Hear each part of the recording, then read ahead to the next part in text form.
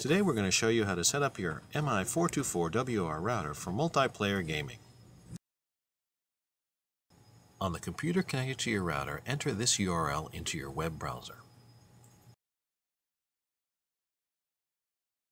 In the next screen, enter your username and password, then click OK. In the home screen, click the Advanced icon in the top bar.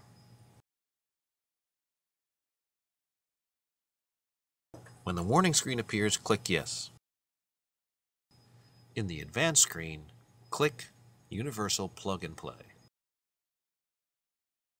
When the Universal Plug and Play screen appears, make sure there's a check mark in the box next to Allow other network users to control wireless broadband routers' network features.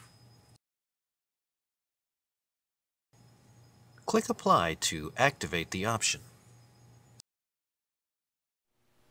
Congratulations, you did it! For more information, go to www.actiontec.com.